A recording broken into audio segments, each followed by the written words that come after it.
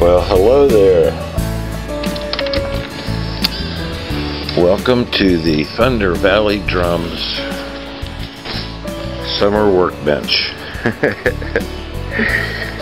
oh gosh, well, one thing I want to uh, share with you today, and that is a new kind of gourd rattle.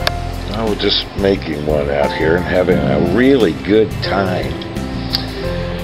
Here it is. You'll see it's just got a lot of my heart expression in it. It's easy to do because these gourds, as you'll uh, discover, don't need any drilling, they don't need anything. You just decorate them. And the seeds inside have a beautiful voice. The nice part about this is, the more you shake them, the more the seeds break apart in there.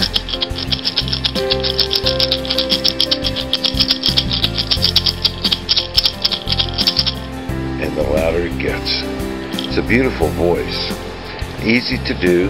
Put anything on them that you like. You can read more about this on the website, of course. I wanted to show you how easy it was.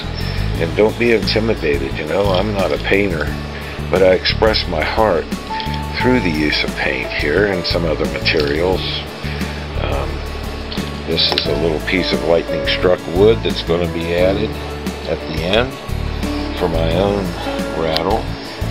But this is the way to go if you don't want the, uh, well, some people call it a hassle. I call it just a beautiful thing to make a more conventional rattle.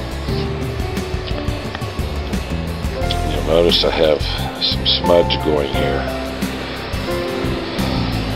Put you in the right frame of mind to make a beautiful sacred helper.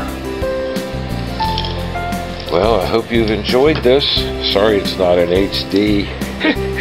We're low tech around here, so if you have any questions or like a little more guidance on how to make your rattle, please drop me an email. Be happy to uh, send along some suggestions for you.